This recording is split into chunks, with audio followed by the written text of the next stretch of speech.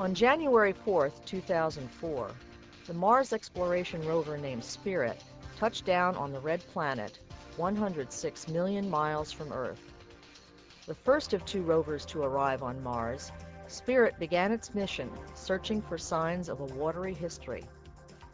The rover was designed to function for 91 days. However, thanks to outstanding engineering, Spirit has been roaming Mars for more than 300 days. After its first tentative treks from the landing platform, the rover quickly grew comfortable navigating the rocky terrain. Before long, Spirit was covering up to 360 feet a day and shattering distance records along the way.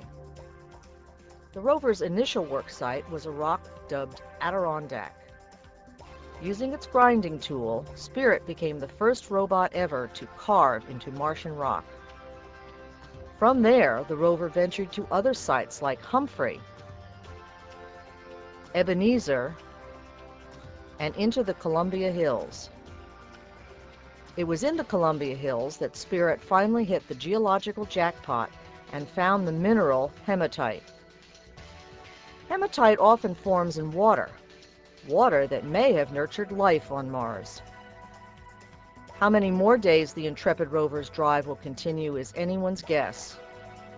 No matter how much longer the journey lasts, it will have been an incredible ride.